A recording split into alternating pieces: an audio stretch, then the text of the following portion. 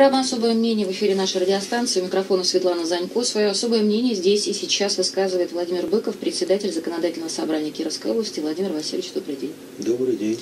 У нас есть средства связи с нашими слушателями на сайте эхокирова.ру в разделе «Анонсы». Со вчерашнего дня можно задавать вопросы, и их туда, как я вижу, присылают. Мы с них и начнем, если вы не возражаете. Антон пишет. Власти вводят понятие «дети войны». Учитывая, что денег нет, как это поможет старикам держаться? Вы, Владимир Васильевич, были за или против этой инициативы? Насколько я понимаю, она еще только будет рассматриваться на ЗАГС собрании в ближайший четверг. Этот вопрос выносится на ближайшее законодательное сессию ближайшего законодательного собрания. И я считаю, что это первый шаг. Первый шаг в рассмотрении этой, в общем-то, важной темы. Если говорить лично обо мне, то я всегда говорил, и сегодня буду говорить, что у детей войны есть дети, есть внуки, которые тоже должны оказывать помощь. Но, а, как говорят и сами э, дети, которые действительно родились до 2 сентября 1945 года, для них важен, может быть, даже не материальный, а вот именно статус. Поэтому вот сегодня мы это вводим, а, начинается большая работа по определению вот э, той категории людей, на сегодняшний день их мы посчитали уже 104 тысячи на территории нашей области. Поэтому это первый шаг. А дальше будет уже работа. Будем смотреть, чем же мы сможем, собственно говоря, помочь э, вот именно этой категории. Потому что часть из этих 104 тысяч, они уже какие-то льготы получают. Кто-то труженик тыла, кто-то э, имеет статус участника Великой Отечественной войны. Поэтому Э, здесь э, работа только начинается. И я уверен, что именно сделав первый шаг, э, мы третий у нас в Приволжском федеральном округе, кто такой закон принимает, а дальше будет работа, наверное, на федеральном уровне тоже. Еще один вопрос, который касается льгот. Владимир Васильевич пишет, Елена Михайловна, хорошо, что есть возможность задать вам вопрос и надеюсь получить на него ответ. Игорь Васильев заявил, что область должна выйти и на бездефицитный бюджет, и это, наверное, хорошо. Но пришлось урезать массу льгот самым уязвимым группам граждан. Насколько это было оправдано? И есть ли хоть какая-то надежда, что их вернут? Э, вот льготы не урезали и не вырезали. Мы делаем вот эту политику оказания льгот адресной и точечной. Не того, чтобы размазывать, вот знаете, как тонким слоем, а именно помогать тем, кто сегодня действительно нуждается. Э, сегодня э, эта же работа ведется и на федеральном уровне. Поэтому, конечно, когда мы решим все вопросы с бюджетом, и он будет самодостаточный, мы себе такую задачу определили, то вернемся и к рассмотрению, ну, будем говорить, категории льготников, которые действительно в этом нуждаются. И вот тогда мы будем продолжать рассмотрение вопроса, о чем мы говорили первый вопрос, о детях войны. Поэтому э, все категории льготников остались, и эти льготы будут получать. Так,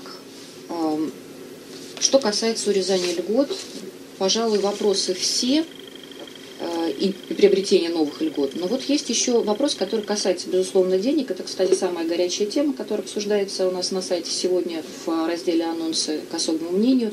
Михаил вас спрашивает, Владимир Васильевич, как так получилось, что Кировская область, единственная в Приволжском округе, не получила денег на развитие сельского хозяйства в 2017 году? Как из этой ситуации выходить будем? Ведь, кажется, правительство определяет эту отрасль как приоритетную. Но вот здесь речь идет, я посмотрела, конечно же, о распоряжении, которое подписал Дмитрий Медведев. Э, документ утверждает распределение субсидий на 2017 год. Насколько беспокойной была эта новость для вас? Для нас эта новость также беспокойна. Мы над этой новостью работаем. И вот в преддверии или в продолжении этой работы э, в июле месяце состоится у нас э, в Кирове заседание выездное э, значит, ассоциация законодателей Приволжского федерального округа, где мы будем рассматривать именно вопросы агропромышленного комплекса. У нас это в Кирове? У нас в Кирове, да, мы будем показывать то, что мы достигли, Э, какие у нас есть достижения, какие у нас есть проблемы. И вот, собственно говоря, вопрос э, вот, получения этих дотаций мы тоже будем рассматривать э, на этом совещании. А также, я думаю, что и сейчас наше Министерство сельского хозяйства будет вести работу для того, чтобы, собственно говоря, этот вопрос решить. Я уверен, что выполняя те требования, которые предъявляет Министерство финансов для получения дотации, мы их получим так же, как мы получили э, вот, э, бюджетные кредиты. То есть заменив, выполнив условия Министерства финансов, мы все кредитные бюджеты, которые получали, для того, чтобы мы, собственно говоря, могли э, выровнять свой бюджет, мы их заменили на бюджетный. Поэтому работа в этом направлении ведется будет результат, мы об этом тоже будем говорить. Можно поподробнее рассказать о встрече, которая пройдет летом, которую вы упомянули, потому что информации по ней не было, я впервые вот об этом слышу. Что это за форма вообще общения? Это форма общения законодательных собраний э, субъектов Приволжского федерального округа, и с определенной периодичностью такие совещания проходят на территориях субъект, э, субъекта в нашем Приволжском федеральном округе. Вот мы вышли с инициативой в июле месяце провести у нас такое совещание. И как раз вот э, исходя из того, что сельское хозяйство у нас также э, энергично развивается, и так как мы являемся лидерами, особенно по э, производству молока, вот такое совещание провести у нас.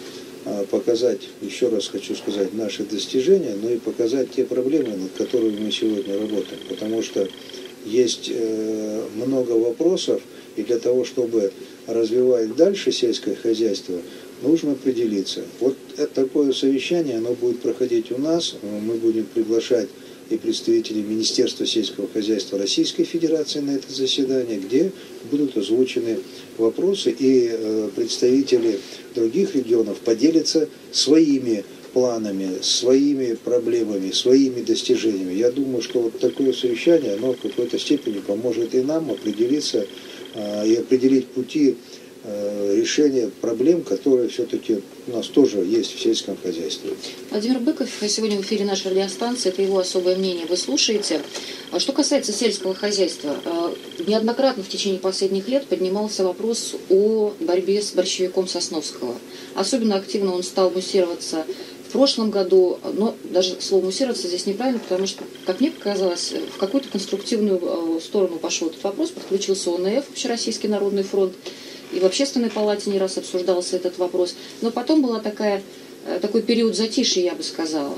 Мы с вами это видим, когда ездим по области, что борщевик, он действительно такая страшная стихийная трагедия уже практически получается. Что-то будет в эту сторону э, предприниматься по этому вопросу?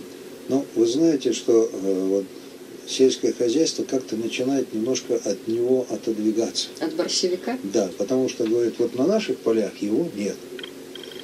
А, то есть представители сельскохозяйственных да, предприятий, у нас да, все хорошо. У нас его нет. Это вот там пусть дорожники отвечают, потому что он растет вдоль дорог и в каких-то местах, где, в общем-то, сложно пахать сеять. А дорожники говорят, нам не мешает, на асфальте а, а дорожники говорят, что все-таки этот большевик Сосновского в свое время завозили как, э, в общем-то, один из видов э, культур таких, которые использовали для корма наших э, крупнорогатого скота.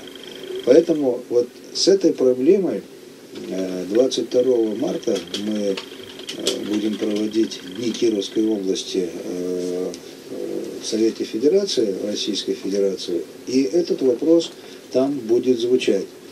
А, я думаю, что эта проблема, она касается не только нашего региона, потому что во многих регионах эта проблема существует, и поэтому действительно здесь нужно бороться, используя, в общем-то, какие-то федеральные средства, потому что а, его просто так вот э, не уничтожить. Нужно иметь какие-то Э, препараты, которыми можно ядохимикаты для того, чтобы это уничтожать. Но это нужно все, должно быть проверено, чтобы не пострадал, мы будем говорить, э, скот частных э, пользователей, потому что действительно там, где сложно спахать, значит, там это все и растет. Поэтому я думаю, что вот совместными такими усилиями этот борщевик Сосновского мы начнем постепенно уничтожать на территории Правильно я понимаю, что необходимо, а, а, необходимо не только федеральные средства, но может быть какое-то федеральное содействие в других областях там, а, по уничтожению борщевика, из-за того, что борщевик может прийти из других областей к нам, если мы тут будем э, местечковыми какими-то делами Действительно, заниматься. Э, вот рядом, рядом с нами, который субъектно находится, он там есть. Поэтому, наверное, нужно эту работу вести э, везде одновременно, для того, чтобы мы у себя, например, его титаническими усилиями уничтожим, но а потом что-то завезем к себе снова. Поэтому я думаю, что вот определив и обозначив эту тему на днях Кировской области Совета Федерации, мы, наверное, сделаем толчок в этом направлении и будут какие-то шаги со стороны Федерации. Прервемся сейчас на одну минуту, буквально. Напоминаю, что это программа «Особое мнение». И свое особое мнение сегодня высказывает председатель Законодательного собрания Кировской области Владимир Быков. Продолжается программа «Особое мнение». У микрофона Светлана Занько. Свое особое мнение сегодня высказывает председатель Законодательного собрания Кировской области Владимир Быков. Владимир Васильевич, еще хотелось бы э, несколько слов по поводу Дней Кировской области в Совете Федерации. Вы сказали, что 22 марта пройдут эти дни и упомянули, что там будет э, э, осуществлен доклад по поводу борьбы с борщевиком. Кто, кстати, его презентует? Мы два дня, 21-22 марта, будем проводить в Совете Федерации уже во второй раз Дни Кировской области, где будет э, выставлена большая презентация, э, то, что мы делаем у себя, то, что мы производим. Э, с докладом будет выступать исполняющий обязанности губернатора Кировской области. Я буду выступать с докладом. Помимо этого, вот именно по сельскому хозяйству с докладом выступит Котлячков Алексей Алексеевич – а так как это год экологии, вот по вопросам экологии будет выступать Алла Викторовна Бегова, которая, а, собственно говоря, осветит все эти вопросы, а в помощь к ним будет выступать Еговкин Владимир Валентинович, который как раз вот тему борщевика и обозначит. Помимо их э, будет выступать Бакин Владимир Гаврилович именно по финансовым вопросам, а также Шулятьева Ольга Викторовна. Вот э, Делегация такая будет у нас большая, поэтому мы будем работать во всех комитетах Совета Федерации. И задача одна – показать, э, что мы делаем, к чему мы стремимся. И, конечно же, э, через сенаторов, может быть, мы привлекем инвесторов к нам по решению наших, в общем-то, э, задач, которые перед собой ставим. Поэтому я считаю, что эти два дня дадут нам возможность ну, на уровне всей страны сказать о себе. Как мне напомнили здесь коллеги, э, перерывы буквально, в Никеровской области э, уже не в первый раз проходит в Совете Федерации, правда, впервые они были очень давно, лет шесть назад. Но с тех пор, видимо, регионы не, не прекращали себя презентовать, значит, механизм эффективный, и на какие-то инвестпроекты расчет может быть произведен. Механизм очень эффективный, потому что э, сенаторы, которые представляют другие регионы, э, увидев э, то, что, в общем-то, их заинтересует, они могут получить полную информацию, э, потому что э, будут представители э, всех наших предприятий, кто будет там выставляться, и они могут презентовать и дать любую информацию по заинтересовавшему вопросу. Поэтому мы уверены, что э, дни пройдут очень эффективно, готовимся к этому, готовимся очень серьезно э, и надеемся, что наша презентация нашей области, она затронет тех, кто, в общем-то, занимается бизнесом и кто сможет прийти с хорошими инвестициями, потому что для нас это очень важно. Важно, чтобы мы создавали новые рабочие места, важно, чтобы работали наши предприятия, а нам есть что показать и значит, металлообработке, э, машиностроении, э, в сельском хозяйстве. Поэтому я думаю, что э, итог этих двух дней будет для нас результативным. А как вы относитесь к инициативе Игоря Владимировича Васильева, временно исполняющего обязанности губернатора Кировской области, которая была озвучена им неоднократно, создать нечто вроде ВДНХ регионального здесь, в Кировской области, чтобы не мы ездили с выставками в Москву только, да, а чтобы к нам приезжали? Я скажу, что э, идея очень э, правильная, и я думаю, что если любой человек, который может к нам прилететь в город Киров и здесь на одной площадке увидеть то, что мы делаем, ну, наверное, это очень важно. А у нас очень много а, возможностей здесь, на месте, показать то, что мы можем. Представьте, что нужно, условно говоря, вот наша лесная там отрасль, деревообработка, там, те же э, дома, которые мы там сегодня строим, да, из цилиндровки, из там клееного бруса, куда-то вести, там ставить, а здесь поставили и здесь показывают, ну, наверное, это очень выгодно. Какие-то движения пошли уже по реализации этого проекта? Насколько вы в погружены? Вот сейчас как раз вот после Дней Кировской области вот эта тема, она будет э, ну, прорабатываться, и мы такую площадку будем создавать. Э, если вы помните, в свое время мы такие площадки готовили, но не по полном объеме, а делали, э, приезжал Дмитрий Анатольевич Медведев на Нововязк, на фанерный комбинат, мы там выставляли все, что делает лесная промышленность. На сегодняшний день вот э, решением временно исполняющего обязанности губернатора решили площадку расширить. Не просто вот наша лесная промышленность, а все, что мы можем делать. У нас очень много э, вопросов, которые мы можем решать. Если взять наш там, завод Лепсия, он уже работает и с нефтяной промышленностью, то есть он может показать свои насосы, которые они делают. Э, если говорить о других предприятиях, то можно найти массу таких вот э, примеров, которые Э, делают действительно такие вещи, которые можно показать, и люди будут приобретать. Вот недавно был на заводе Сельмаш, они просто делают великолепные емкости для э, перевозки молока. Э, это очень важно. Во-первых, то, что мы покупаем на Западе, очень дорого. Во-вторых, сегодня санкции. А здесь очень, в общем-то, по нормальной цене делают наши, делают очень качественно. Поэтому вот презентация таких проектов, таких объемов может э, дать возможность нам, опять же, привлечь таких инвесторов, которые ну, будут использовать. А помимо этого, вот тот же Сельмаш, он не просто делает там цистерны, он еще и делает оборудование. И уже многие наши, да, и многие наши заводы уже укомплектовали, собственно говоря, этим оборудованием свои предприятия. Поэтому я считаю, что это очень хорошая идея, ее надо притворять. Просто действительно, чтобы это было не так, что как-то, вот знаете, бывает, поставили и все замерло. А она должна постоянно обновляться.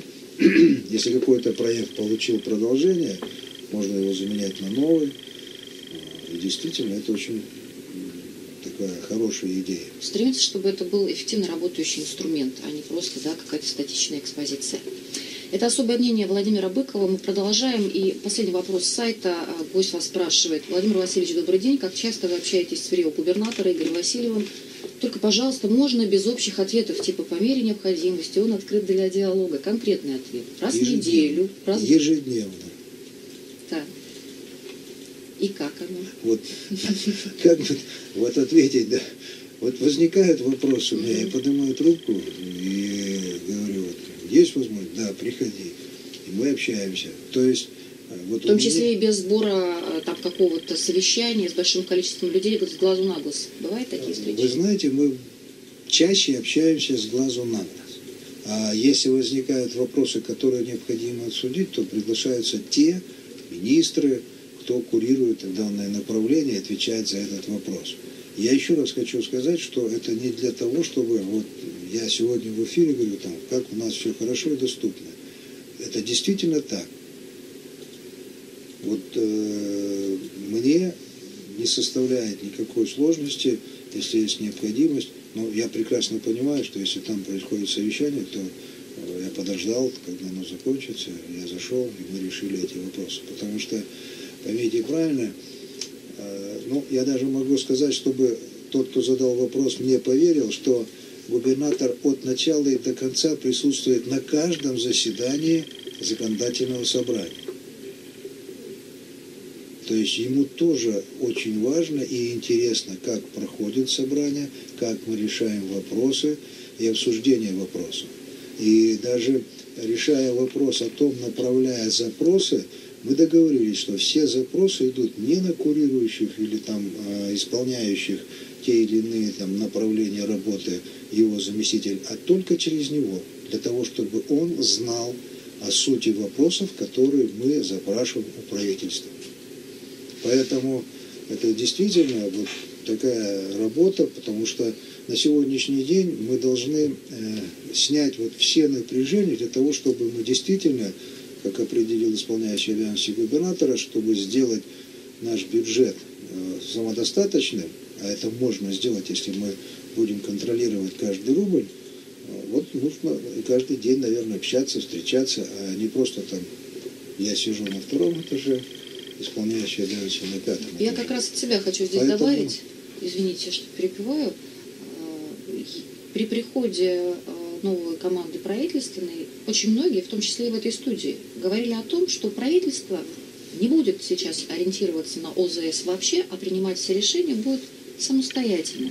То есть не воспринимают новые чиновники, пришедшие в правительство, э, наш парламент как некую силу. Вы можете это подтвердить или опровергнуть сейчас? Я могу сказать так. Если бы э, новое правительство не воспринимало парламент как некую силу, то губернатор, наверное, бы не присутствовал на заседании, а присылал бы какого-то второстепенного исполнителя, который бы выступал в роли присутствующего, ну, записывал те вопросы, которые возникли, и э, на этом работа заканчивалась. А так как э, губернатор считается с законодательным собранием и считает, что это э, собрание поможет ему решать вопросы, он присутствует на всех заседаниях, от начала и до конца. Еще вот ни одного заседания э, не прошло, чтобы он э, или опоздал, или ушел. Я более того скажу, что как только были созданы все органы э, законодательного собрания, Тут же была встреча с, губер... с исполняющим обязанности губернатором, где были определены задачи, где было сказано, что только вместе мы сможем решить задачи, которые стоят перед областью. И вы лично, как председатель законодательного собрания, чувствуете и видите, что он заинтересован в совместной работе? Я чувствую и вижу, потому что э, те вопросы и те, э, мы будем говорить, не всегда же все получается так, как ну, условно говоря, а, мы получили вопрос к рассмотрению, и вот мы совсем согласились. А, я прихожу и говорю, что вот этот вопрос мы пока отложим, и мы находим полное понимание всех этих вопросов. Более того, мы находим продолжение решения этого вопроса. Вот э, простой пример, когда э, стали говорить о фиксированной сумме, дотации за жилищные, условия, жилищно-коммунальные услуги учителям. А, мы посмотрели этот вопрос, говорим, что это рано. А, было принято, наверное, самое правильное решение – разобраться с тарифами. И эта инициатива была исполняющей обязанности губернатора. Поэтому вот я считаю, что законодательное собрание – это тот орган, который не будет э, мешать, а наоборот будет помогать.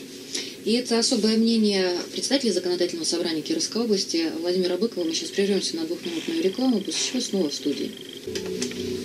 Продолжается программа «Особое мнение». У микрофона работает Светлана Занько. А свое особое мнение сегодня высказывает председатель законодательного собрания Кировской области. У нас остается 13 минут буквально. На 13 минут у меня три вопроса. Они достаточно серьезные. Ну, я пыталась вас сориентировать сейчас по времени. Не могу не спросить вас о приездах федеральных чиновников – Глава правительства к нам приезжал Дмитрий Медведев, Вероника Скворцова, министр здравоохранения. Кроме того, что мы знаем из официальных пресс-релизов, которые говорят о знаке высокого доверия нашему региону, мы знаем, общем, мало, что происходило с закрытыми дверями, а слухов ходит много. Дабы эти слухи развенчать, то, конечно же, я не могу не воспользоваться возможностью сегодня задать вам несколько вопросов. Например, Говорят, что Дмитрий Медведев приезжал инспектировать ситуацию в региональное отделении партии «Единая Россия», которой предстоит э, пройти не только выборы в сентябре, но и показать результаты по серьезным партийным проектам этого года, коих четыре, как мы знаем, и они несут очень мощную социальную нагрузку. Так ли это? Дмитрий Анатольевич Медведев приезжал э, провести совещание чисто по военной тематике. А так как наш наши предприятия все являются предприятием оборонно-промышленного комплекса, поэтому это совещание было на одном из наших предприятий, где обсуждались эти вопросы. А, как итог, посещение Дмитрия Анатольевича, это говорит о том, что и вот, собственно говоря, и в системе образования, что нужно готовить специалистов для таких предприятий, которые у нас в городе. Вот если мы будем брать а, те новые предприятия, которые построены и ввели, там нужны высококлассные специалисты. И, к сожалению, сегодня у нас не хватает. И их не хватает на всех предприятиях. И как бы мы ни говорили, что вот у нас там нет рабочих мест и все остальное. Есть рабочие места, есть высококвалифицированные рабочие места, которые требуют специалистов, ну, будем говорить, хорошего уровня. Вот о чем прозвучало э, как вывод для нас. Нужно готовить. И Дмитрий Анатольевич Медведев, как раз выступая перед фракцией партии «Единая Россия», э, вот на ближайшей встрече была в Москве, он сказал, что будучи в городе Кирове, я определил и сказал, что нужно готовить сегодня классных специалистов для работы на таких предприятиях, которые являются ну, основой оборонно-промышленного комплекса, современнейшим оборудованием. То, что мы сегодня здесь имеем. Вот э, итог и вывод. А партию никто не инспектировал. Партия получила, э, будем говорить, основные направления своей деятельности на 16-м съезде партии, который состоялся в январе этого года в Москве. Мы задачу знаем, и знаем, что нам нужно делать.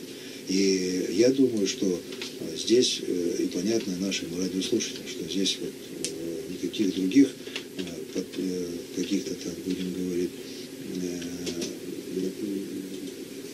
ну, подводных камней других никаких не то, что нет. подводных камней, а там каких-то других тел там и не рассматривалось. Угу. Естественно, что исполняющий обязанности губернатора воспользовался прибытием председателя правительства в регион и соответствующие просьбы высказал, которые нас тоже интересуют. Это строительство школ, это строительство, э, ремонт дорожной уличной сети, и мы будем надеяться, что, в общем-то, э, что-то получим по решению председателя правительства. Это особое мнение э, Владимира Быкова. Мы продолжаем. Следующий вопрос. Э, прошу вас прокомментировать предложение представителя «Справедливой России» Сергея Редькина который вышел с инициативой провести ближайшие выборы в губернаторы без самовыдвиженцев. Он мотивирует это следующим образом. В выборах должны участвовать кандидаты, которые способны представлять программу развития региона и пользующиеся поддержкой населения. Э, при этом важно отсекать так называемые деструктивные элементы. Этому должен служить партийный фильтр. Согласны? Знаете, я согласен. Э, у нас на территории нашей области э, зарегистрировано 72 партии. Я думаю, что 72 представителя – это, наверное, предостаточное количество для того, чтобы а, организовать ну, такую конкурентную борьбу на выборах губернатора. А если уж говорить о самовыдвижении, то, по всей видимости, просто вот тому самовыдвиженцу невозможно собрать просто-напросто подписи это действительно значит, э, создание каких-то таких условий или привлечение каких-то там структур, которые будут помогать. А здесь партия, она выдвигает, никаких подписей э, не надо, а просто проходит тот фильтр муниципальный, который э, должен быть. И я считаю, что это разумное предложение, и это предложение мы будем рассматривать на ближайшем заседании законодательного собрания как решат депутаты, ну, я считаю, что это правильно. Произойдет это в ближайший четверг уже. А, еще хочется следующее спросить у вас. А, мало времени остается очень. Перейдем на город все-таки, поскольку тема остается для вас близкой, вы не раз об этом заявляли. А на город ближайший год, вот в этот 2017, уж не знаю, свалится большой подарок или еще больше ответственности в виде огромных федеральных денег, которые идут по разным проектам. В частности, имеется в виду проект, э, который касается агломерации, а это дороги, значит, да, проект, который, четыре проекта партийных, э, партии «Единая Россия», которые э, касаются благоустройства. Может быть, вы напомните мне, я вот не припомню, чтобы такие деньги приходили одномоментно на какой-то город. Вопрос вот в чем. Справится ли нынешняя команда городской администрации с не с осваиванием таких денег, с тем, чтобы исполнить все необходимые требования федеральных программ, поскольку уж очень быстро все происходит. Вот буквально заявили о федеральной программе, и тут же нужно документы подготовить, проекты и начать включиться в, включиться в работу. В городе давно ждали таких денег, и проекты эти есть. Есть и развязки улиц, есть и проекты по расширению дорожно-уличной сети, есть проекты по благоустройству парков. И действительно работа будет очень серьезная, но имея те э, муниципальные предприятия, которые есть в городе, я уверен, что город с этими задачами справится.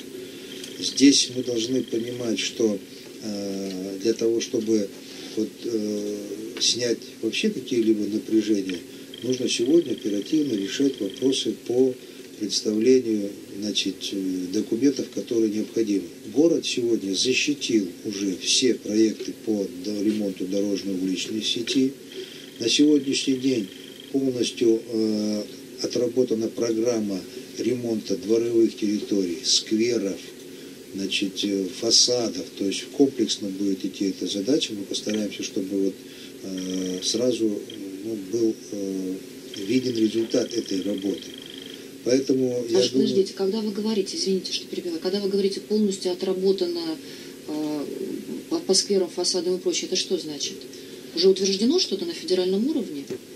Определены это, дворы конкретно? Это на федеральном фасада? уровне не утверждать не надо. Это подготовлено у нас э, проектные документы по этим всем дворам, по этим всем дворам и прилегающим скверам.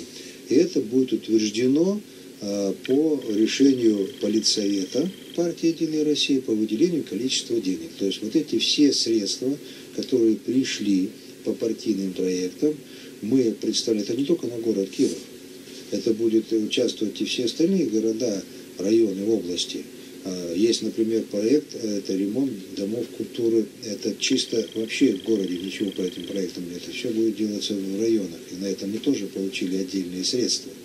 Поэтому, как только это все будет готово, значит, региональный политический совет утверждает эти суммы и приступают к работе. Списки мы дворов должны... можно где-то посмотреть? Список дворов, да.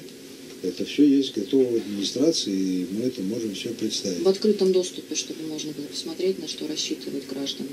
Значит, э, я уверен, что буквально ну, до середины марта месяца все это будет выложено в открытом доступе, и каждый будет знать, где, что э, будут ремонтировать, что будут делать. По каждой улице то же самое. А, более того, мы будем привлекать общественность а, для того, чтобы они участвовали именно в этой работе, чтобы вместе с ними а, принимать выполненную работу, контролировать ход, ход, ход ведения работы. А если а, мы какой-то двор берем для того, чтобы мы его приводили в порядок, значит и жители там тоже должны участвовать. То есть вот мы проведем очень широкое обсуждение всех наших проектов с общественностью и вместе с ними будем контролировать. То есть э, правильно я вас понимаю, что общественность будет привлечена на моменте контроля уже осуществляемой Общественность будет сегодня уже привлекается на моменте формирования этих заявок да, а и обсуждения. Образом? Каким образом? У нас есть программа местных инициатив. У нас в городе более 50 проектов. Вот эти все проекты мы берем. У нас, э, вы помните, года два-три назад мы начали эту работу по ремонту дворовых территорий. Мы говорили, что эта работа не будет остановлена. Тогда мы Э, в одном э, отремонтировали порядка 300 дворовых территорий, и у нас был список переходящий такой. И эти все списки сегодня, они восстанавливаются и будут прилагаться в работу. Тем более, что вот эти все партийные проекты, это не одного года проекты. Все проекты, которые касаются, четыре проекта, это э, ремонт дворовых территорий, приведение в порядок парков, скверов, дома культуры и э, театры малых городов. Это, вот эти четыре проекта, они э, рассчитаны на пять лет. Поэтому мы если считаем, что по проекту вот, ремонта дворовых территорий мы получили на область 285,5 миллионов, на ремонт домов культуры мы получили 28 миллионов. Если мы это просто умножим на 5, то мы получаем больше миллиарда рублей. Это действительно работа, которая приведет к тому, что мы действительно э, выполним э, одно из посланий президента, наведем порядок у себя в стране, Я у себя прежде, в регионе, в городе, во дворе. Прежде всего, наверное, послание граждан все-таки. чтобы навести порядок в нашей, в нашей стране, ну, в нашем Вы знаете, городе. послание граждан такое. Они созрели ведь у нас. Они созрели. Вот вы знаете, если брать э, наш город Киров и не ходить куда-то, э, вот там, где созрели, они уже дворы свои привели в порядок. А там, где мы еще только думаем, а стоит ли это делать, вот эти средства, которые придут, они дадут нам возможность того, что да, надо это делать. Поэтому Мы сейчас- мы будем привлекать всех. Вы лично как будете контролировать этот процесс? Я лично как буду контролировать процесс? Я лично вместе с президиумом партии «Единой России» буду контролировать ежедневно, проезжая и смотря где, что, как делать. А так как мы проводим еще встречи с нашими избирателями, будем встречаться с населением и спрашивать, вас устраивает ремонт этого двора? Вы все туда вложили, что вы хотели? Поэтому мы этот опыт уже имеем, когда мы э, ходили по дворам, когда мы спрашивали, что нужно. Нужна вам здесь детская площадка или вам нужна стоянка машин? И тогда двор делился на две части. Одни спорили, что нам нужна стоянка машин, а другие спорили, что нам нужна детская площадка. Поэтому работу эту мы знаем и будем ее делать. Я так понимаю, что в ближайший год, а то и пять лет, Владимир Васильевич Быков очень часто будет появляться во дворах нашего города, как он говорит. Ну, а, надеюсь, совместными усилиями у нас все получится. Спасибо за особое мнение. Его высказывал сегодня Владимир Быков, председатель законодательного собрания Кировской области. У микрофона работала Светлана Занько. До свидания. До свидания. Спасибо.